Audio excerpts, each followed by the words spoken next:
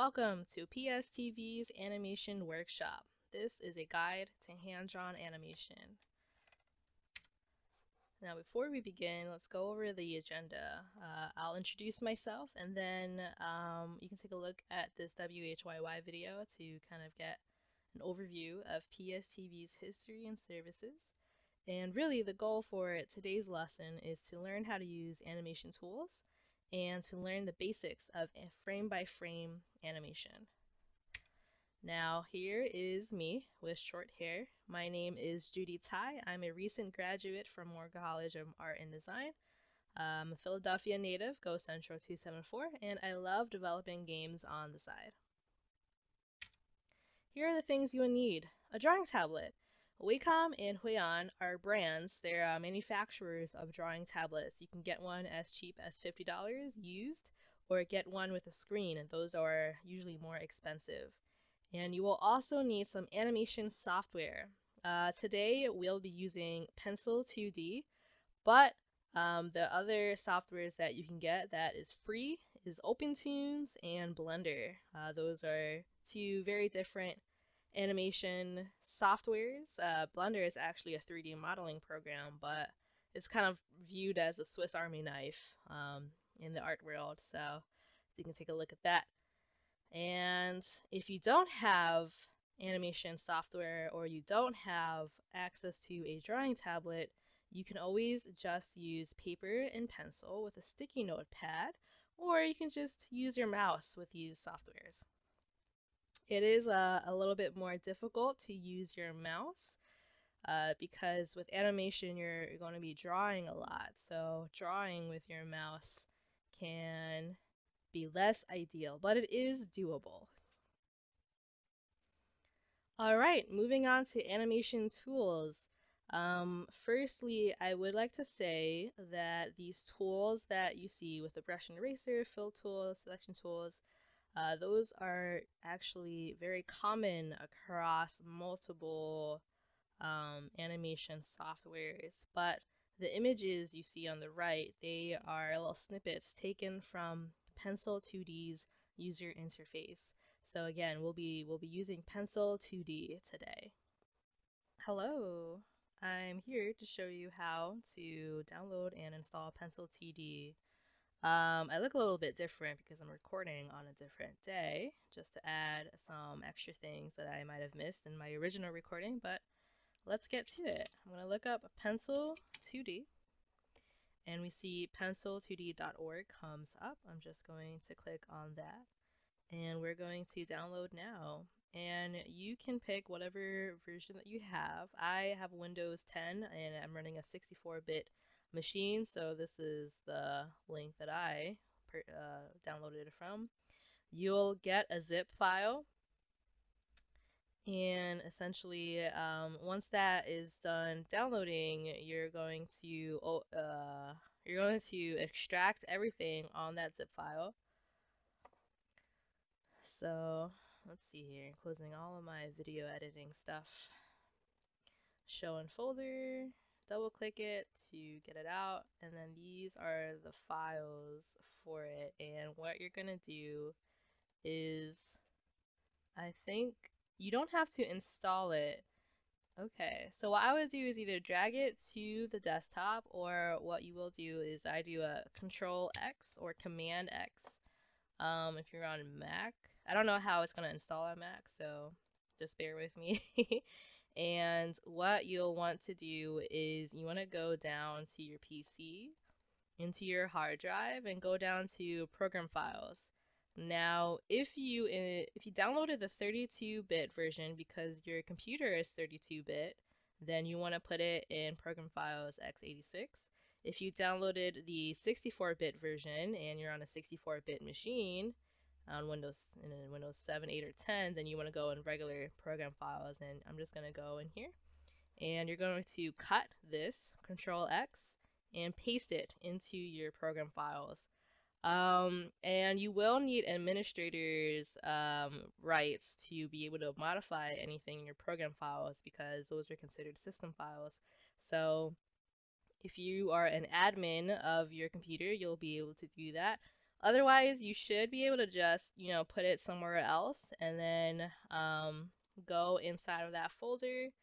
You see, I already have Pencil 2D in my program files, so you'll go down and you'll see an executable file, and that is how you can open up the program. All right, let's get to it. Uh, I have Pencil 2D open, as you can see here, and we're just gonna go over the basic animation tools. So um, your tools is are located in the top left corner here. So you have tools, and then below it you have the options for the tools. So right now I am using the pencil tool. The keyboard shortcut for that is N, and I am using a drawing tablet, so you can see I have very fluid strokes here. Um, but pencil tool is is really really basic. It's just a consistent width throughout. In the options, you can turn on pressure, so you can get varying sizes for your pencil. Uh, the command to undo is Control Z. Alright, and I'm just gonna draw something really, really quick here, and then let's go to the eraser tool. Now the eraser tool, the keyboard shortcut for that is E, and um, the eraser tool is kind of weird because when you start erasing, you can actually kind of tell that the, by default, use feather and the options will be on. And when that is on, you can kind of like feather your erasing so it feels like a real eraser. Um, personally, I don't really like it, um, but maybe some people do. So I like to turn it off. So I'll just uncheck that and you can erase. And it also uses pressure as well, so you can disable that also. Alright. With the fill tool, it sounds like you can just fill in shapes. So I'll just draw a closed shape there and then go to our fill tool, which is the paint bucket tool, uh, short keyboard shortcut K. Okay. And we, if you click in an area, it will just fill it. So it doesn't do a great, great job here. Um, as you can see, it's leaving a lot of artifacts around the edges of our shape. And that is because when you use the pencil, you can see that it has a lot of little pixels. It's, it's anti-aliasing. It's softening these pixels on the edges to make it seem like a much smoother shape but that is okay. Um, the fill tool, you'll probably be using it a lot to color your animations. Um, and then you'll have to clean up the edges for that. Okay, so the next set of tools we have is the selection tool. And up here in the top left, we have a little rectangular, that's like a little, a little dotted rectangle, right? And the keyboard shortcut for that is V. And what you can do is you can drag on your canvas to select a square. And by default, um, you can move the selection box around to fine tune your selection. And if you wanted to move something, you can press Alt to kind of confirm that this is what you want to select. And then you can drag to move that selection. Now, anything that is inside of this selection and inside of the layer that you're working on uh, will move with that selection box. So keep that in mind. It's very useful if you want to move some stuff around. Okay. All right, so next up, we're gonna talk about layers. Now, on the very bottom here, you have your timeline window. And uh, when you first load up Pencil 2D, it's going to be very small. Uh, what you can do is you can hover over this top border here and you see a little icon change. It looks like two arrows and a line through it. You can drag that and bring this timeline window up. And that'll give you a bigger view of the timeline timeline uh, window, right? So we have our layers in the bottom left here. We have bitmap layer, vector layer, and camera layer. Uh, for now, we're just going to focus on the bitmap layer. So I'm actually going to, I think, delete this layer by pressing this minus sign here. We're going to remove that. Alright. And it is focused on the bitmap layer. Hi, so I wanted to talk about the differences between a keyframe and a frame. A frame is what we've been making so far. You go into the timeline, you press the plus sign to create a frame, and then um, you can fill in that frame with anything that you want. And you can swap between frames and go forward and backwards and do everything that you can do in animation. A keyframe, however, is a is more conceptual. It's it's more of a an idea. Um, keyframes are your more important frames. They are the frames that have higher importance in your animation. They are um, the frames that you generally fill out first. They contain the different poses of your animation. So keyframes are frames, but not all frames are keyframes.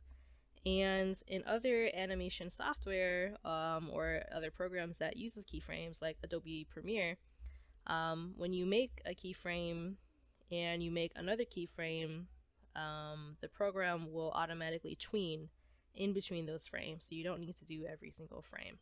So yeah, I hope that explained the differences between keyframes and frames, and let's move on. Alright. Okay, and to add layers, you can press the plus sign here to add a layer. You can choose what type of layer you want to add. I'll add a new bitmap layer. Call it bitmap layer 2. Now we have two layers.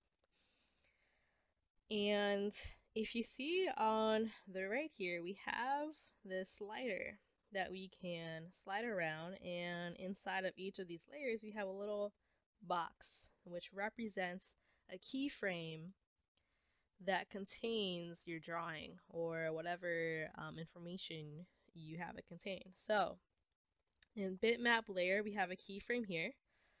Um, but in bitmap layer 2, we have nothing. So how about we fill it to kind of show you the concept of layers. I'm going to go up to my color box in the top right, change my color to something like red, and I'm going to increase my brush width and I'm gonna draw something and this this will draw right on top of what we have here. So I'm just gonna kind of scribble something in here to show you the concept of layers. Um, now bitmap layer 2 uh, contains that red right? We can move or drag our layers below. So I'm going to enable that. So these little dots here allows you to hide or show layers. But I moved bitmap layer 2 below bitmap layer, our, our default one, and now the red is behind our black.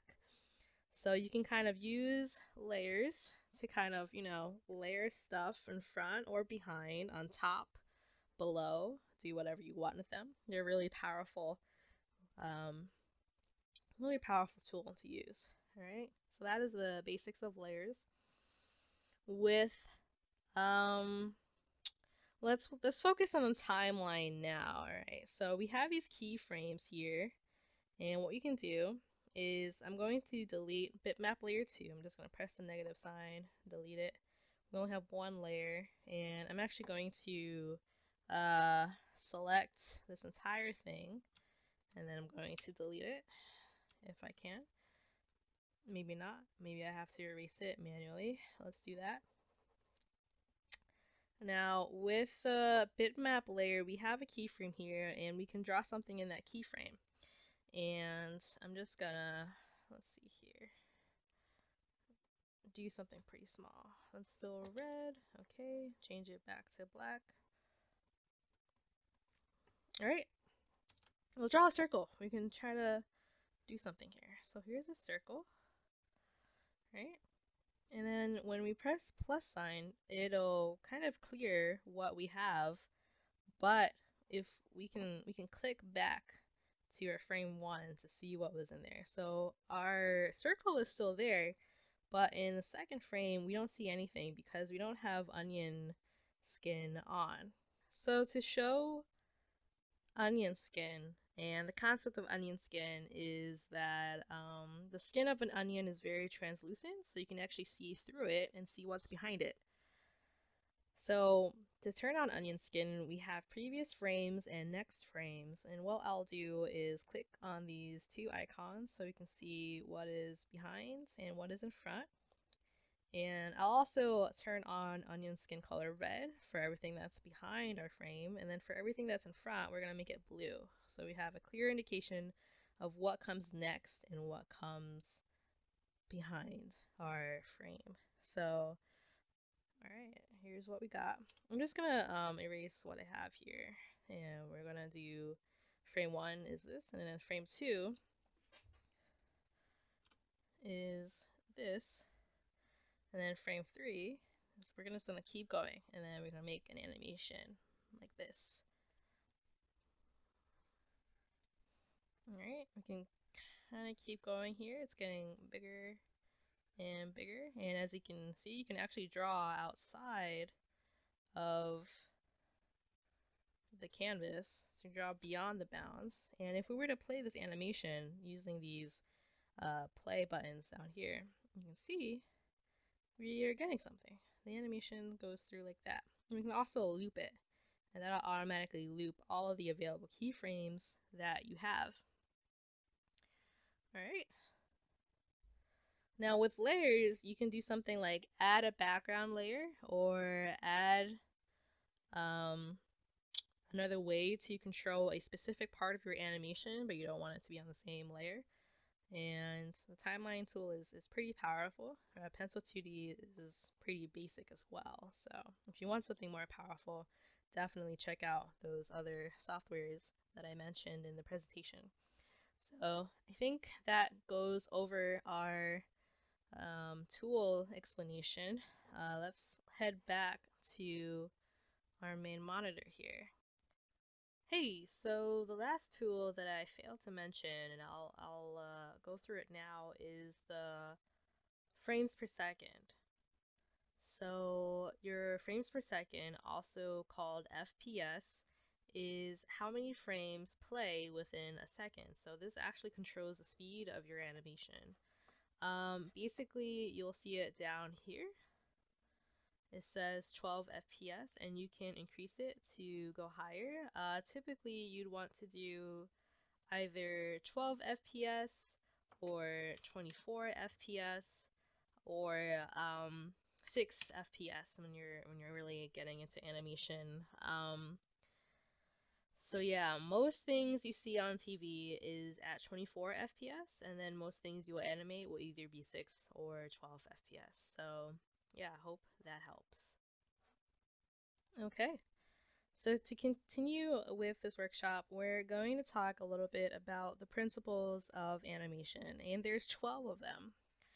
Um, a long time ago, when animation was starting to become a real thing, uh, animators had to kind of be able to explain how to animate to other people that wanted to learn how to animate. So these are the 12 principles in animation that kind of came about that uh, long, long conversation. um, unfortunately, I can't go over all of the 12 principles of animation because um, it'll take too long and we're really just kind of skimming the very surface of animation. So for now, I'm just going to talk about three of them. Okay. So first, we have squash and stretch, arcs, straight ahead, or pose to pose animation. So those are the three principles that I'll be going over today. And first, we're going to look at squash and stretch. I'm going to turn on my video now. All right.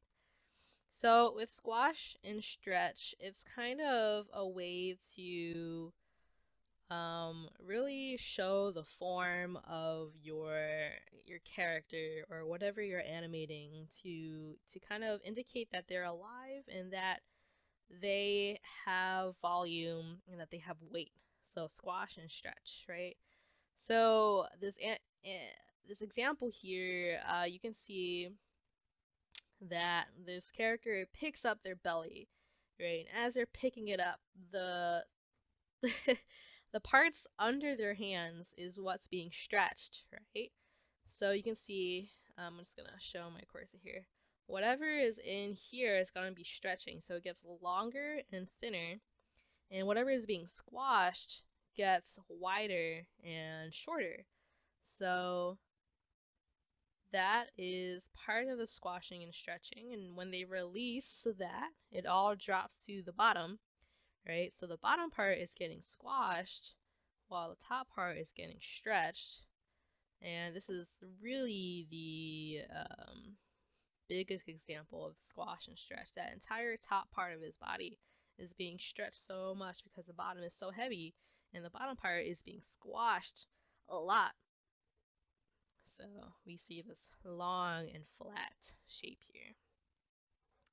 Next up, we have straight ahead and pose to pose. This is a concept that I will need to explain in Pencil 2D, so I'll do that in a moment. But basically, straight ahead and pose to pose um, describes two different approaches to animating. So straight ahead is basically when you're animating from one frame to the next, to the next, and to the next. And a pose to pose is that you're setting specific frames to be specific poses, and then you're filling the frames that's between those keyframes. So I'm actually going to show an example of that now. Alright, we are back in Pencil 2D and I'll be showing the difference between uh, straight ahead animation and pose to pose animation. So um, I started a new um, document here so everything is all clean and we even have our vector layer back but I'll just focus on the bitmap layer.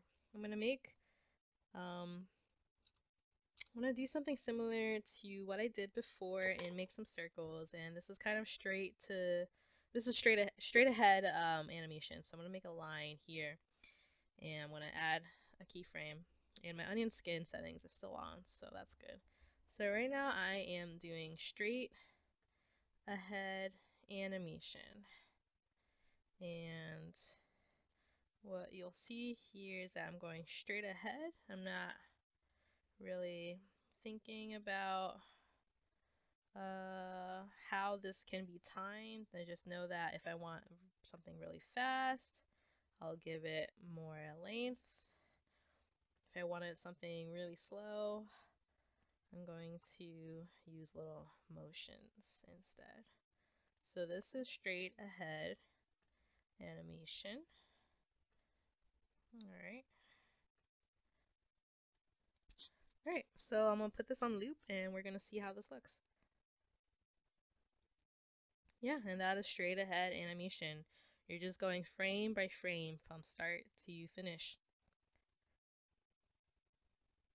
Alright. So um, what I'm going to do here is I'm going to delete this bitmap layer because now I want to show um, pose to pose animation. So I have a keyframe at 1 Hi, so I wanted to talk about the differences between a keyframe and a frame. A frame is what we've been making so far. You go into the timeline, you press the plus sign to create a frame, and then um, you can fill in that frame with anything that you want. And you can swap between frames and go forward and backwards and do everything that you can do in animation. A keyframe, however, is a is more conceptual. It's it's more of a an idea. Um, keyframes are your more important frames. They are the frames that have higher importance in your animation. They are um, the frames that you generally fill out first. They contain the different poses of your animation. So keyframes are frames, but not all frames are keyframes. And in other animation software um, or other programs that uses keyframes like Adobe Premiere, Um, when you make a keyframe and you make another keyframe, um, the program will automatically tween in between those frames, so you don't need to do every single frame. So yeah, I hope that explained the differences between keyframes and frames, and let's move on. So I'm just gonna make a circle here. And then I know probably at frame 6 I want something to be here. And then I know frame 12 or frame 13 I want something, I'm going to increase the frames here. I want something up here.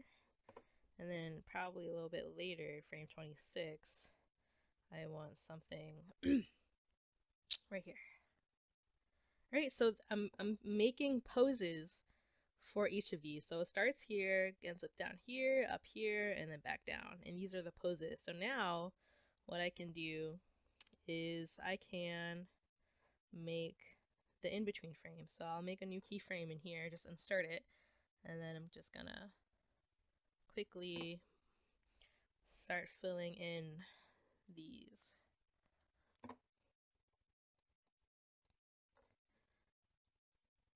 Alright. And I can just kind of fill it in here.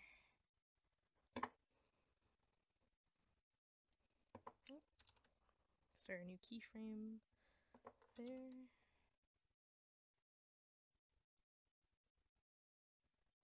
Okay, yep, this goes in right in here. And then it goes, zooms in here. Okay. And then it goes up. I'll make a new keyframe here. Goes in like that. Make in keyframe here. Goes in like that. And then another one here. And I'm just I'm just filling in what I have already. And we'll see what this looks like in a moment. Alright. Um Okay. Well, you kind of get the idea is that you make you make the poses and then you fill in the gaps, right? So let's take a look at what this looks like. All right. We have our main poses. It goes starts from the top, goes down, back up, back down again, and then we're we filled in what's in between. So, um, very successful animators will know how to use both. Um, straight ahead animation can feel a lot more obviously straightforward and pose to pose requires a little bit of planning um, but if you know how to use both of them you'll kind of be able to combine the two techniques together during your animation process. So. Okay so the very last principle of animation that I'm going over today is arcs so arcs kind of denotes um, the general shape of the movement that you want to create. So we have an example here. It's kind of showing uh, what to do and what not to do. On the left, the arc is very fluid. It's a smooth curve that goes through and these little X's that you see in between the hands kinds of shows um, where to fill in those frames. So we have our keyframes, which is the hands that is being shown, and then we have little X's that kind of show like this is where the in-between frame should be. Um, so the first one is very fluid, it's curvy, it, it clearly shows the movement. And on the right, we have an example where it seems more jagged. The it kind of goes um, it's kind of going in a straight line and then another straight line and then another straight line. So uh, with movement, right, you have a fluid, right, a fluid motion. And then with the other example, you have something like like a straight line, and it's very, very jagged. You'll you'll start to notice it more when you start to get more exaggerated movements and it's using straight lines instead of curvy lines and it feels more choppy instead of smooth. So when you're planning out your animation and you're planning out your motion, you want to use arcs, smooth curves to clearly show the direction and the movement of your animation and not using uh, primarily straight lines. All right, now that we have kind of the basics of animation down, we, we have uh, an idea of what the principles of animations are, and we know the basic animation tools and how to use them, we're going to animate something together. I'm going to animate a bouncing ball, and the bouncing ball is kind of like the quintessential beginner's assignment in animation. It, it really uh, challenges you to get it right right? And to use everything that you know to get it right. So I'm going to make sure I have a bitmap layer here. And we have our frames and our onion skin enabled and we have a pencil tool selected. All right. And what I'm going to do is actually I'm going to make another bitmap layer and we're going to plan this out. I'm not going to use straight ahead animation. Instead, I'm going to use pose to pose. And instead of kind of uh, trying to, you know, eye out the motions or to, you know, mentally do gymnastics in my head to figure out how the motion is going to look like, we're going to use arcs to plan it out. So I have my bitmap layer on, uh, and this is going to be our background layer. I'm actually going to choose a really light color for this so it doesn't get in our way. And um, for this, I'm going to have an idea of a ground here, right? And then that's the ground. And now I want something to start like up here. And it's going to bounce down here. And then it's going to bounce out like that. And maybe we wanted to do something different where it's like a parabola using some math terms here. So there's that's a parabola that bounces and then we're going to get a smaller parabola here, right? Maybe an even smaller one. And then it bounces out like that.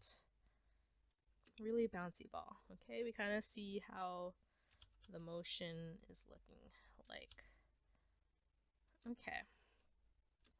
All right. So um, we have, you know, marks to show where the tops should be. Then we have marks to show where the, the bottoms or the impacts of the ball should be.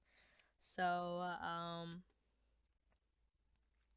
I'm actually going to also time out my animation here, right? So if I were to start at this very beginning and I wanted to show here, I want it to kind of start slow and then it gets really fast. So in order to show that change in speed, that acceleration, we're going to have a lot of frames in the beginning and less frames towards the end, right? Because if you have a lot of frames together, it, it kind of feels very slow. You have a lot of frames, it has to get through all of those frames to get through one motion. If you have less frames, it'll go through those frames a lot faster in that short amount of time. So we're going to do that here, right? So I'm just going to kind of mark out where I want my important points are going to be. So I want something to go slow. So go slow here. Maybe get a bigger gap. Maybe get a bigger gap. Maybe get a bigger gap here. And then because it, it's like shooting forward, we're going to get a bigger gap here. And then it gets slower as it gets to the top right? I'm even gonna have like more extra frames here.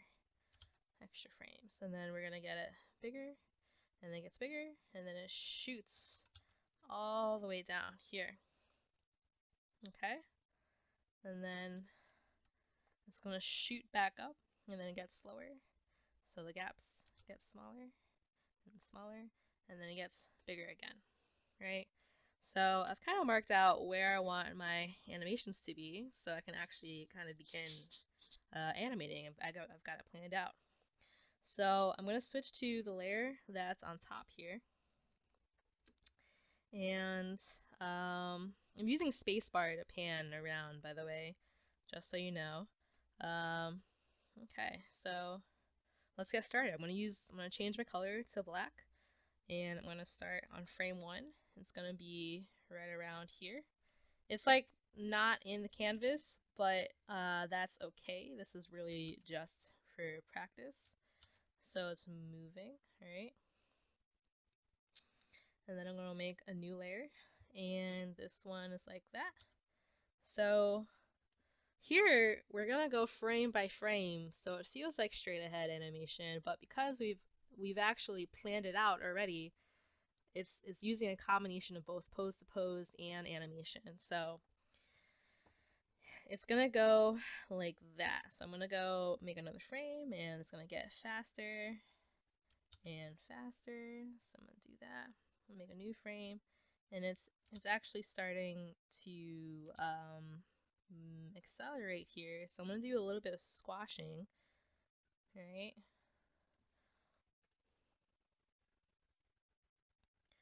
So it's like really circular at the very top, and then I'm squashing it, so it's actually stretching.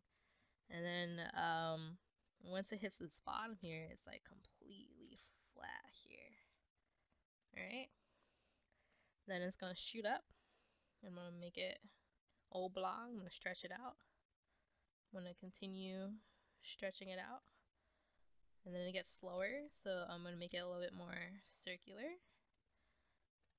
and then circular. And then another circle for our ball.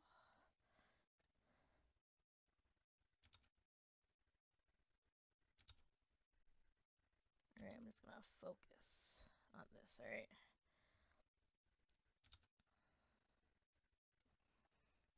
And it's gonna get faster, so I'm gonna stretch it just a little bit.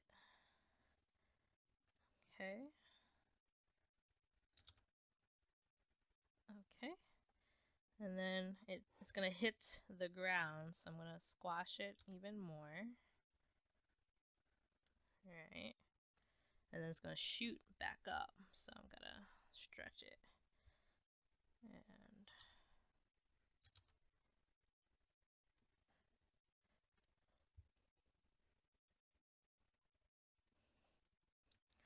keep it stretched. I have to kind of remember how big it is on my screen so I don't get any accidental uh, size changes. The ball should be a consistent size throughout the animation, but its volume will be shifted whether or not it's being squished, stretched, and squashed. So now it's gonna accelerate down here. So This is it's gonna appear outside of our frame, so I'm just gonna. It's it's okay. This is for practice. All right. So we have something going on, right? We can kind of see how it looks like when it's moving. So I'm gonna turn off our uh, our planning um, layer, and we're just gonna turn on loop, and then we're gonna see how this looks. All right. All right, look at that. It accelerates down, it hits the ground and squishes, and then it shoots right back up. And it gets slow at the very top of that arc. So that is looking very good. I am very happy with my animation. okay. Alright, so now you've created an animation, you want to share it with all your friends and, you know, share it to the world. Uh, um, what I'm going to do is go up here, I'm going to save it. And it'll tell you, you know, where you want to save it. I'll save it right on the desktop. It'll save it as a pencil format, a .pclx. And that is uh, the file extension for Pencil 2D. So I'm going to call this bouncing ball, right? And we want to export this. So what we need to do is go down to File, Export, and what I'll like to do is an animated GIF. Uh, I want to put this on the web, so using an animated GIF would be perfect for that. I can share it on Twitter. so I see here is that it's being saved right to my user. I'm just going to change it back to the desktop, and I'm going to name this bouncing ball. Right, save. Camera, we're doing the camera layer, that's fine. And then you can, this is the default width and height of our animation. And we have it, we have uh, some additional settings to set the start and end frames uh, to pick what segment of our animation we want to keep. And um, I'm gonna have this loop, so that's that's pretty good. All right, I'm gonna press OK, and it's generating a GIF, and that's really fast. So I'm gonna open the file location, and we see here we have a bouncing ball GIF, and we can actually open this, and there it is. That's our animation as a GIF, and you can upload this to a social media website, and it'll loop, and you can show the world how much you've learned in animation. So before I leave you all today, here are some additional resources that you can look at if you want to kind of expand on what we've learned today. Um, you can look at TJ Free. He's a really cool guy. He's on YouTube. He makes a lot of tutorials on how to use different animation software. So you can learn OpenToonz from him, or you can learn more Pencil 2D from him as well. Alan Becker has a really great series on animation principles, so you can uh, learn about all 12 animation principles instead of, you know, just leaving today with the three that we went over. And yeah, I would I would start with these two. Um, they can certainly uh, bring you more depth to what we've learned today. So, all right. Well, thank you so much for attending or watching uh, this PSTV uh, animation workshop. And hopefully, I get to see you some more with the other workshops that I'm working on. All right. Bye bye.